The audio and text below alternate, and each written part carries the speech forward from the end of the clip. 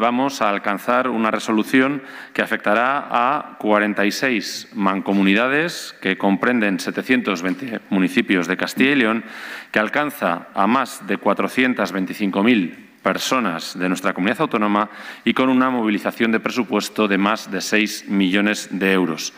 Así, estas ayudas van a permitir alcanzar un triple objetivo. En primer lugar, dotar de vehículos útiles y cercanos a los castellanos y leoneses a través de las mancomunidades y el resto de figuras de carácter asociativo que tienen una cercanía fundamental con nuestro territorio.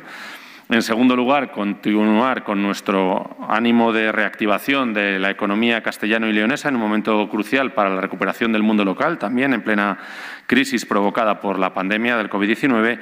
Y, en tercer lugar, apostar por una reducción de la huella de carbono en la emisión de CO2 en la comunidad a través de la renovación de vehículos, camiones e inmuebles.